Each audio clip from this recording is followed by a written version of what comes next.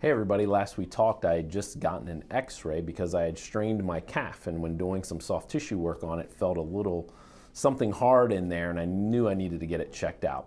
The x-ray showed that I had some bone growth in there, the crazy nose thumb looking thing.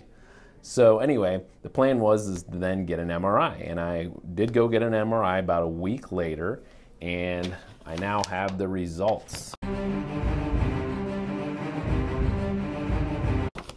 Most important thing we were looking for on the MRI was the thickness of the cartilaginous cap on the little bone growth.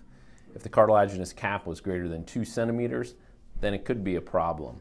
The good news is that the thickness of the cap on the osteochondroma in my leg is only two millimeters long, so that is great news. So basically what that means is that this osteochondroma most likely has been there a very long time, could have been there maybe even 20 years, and I just never even realized it and that it really hasn't given me any trouble until I strained my calf. And that's how most of these are discovered actually. You injure yourself and then when you go to get some tests to look at the injury, they also find these osteochondroma, these bone growths. And they're typically in long bones like in your femur or in your humerus.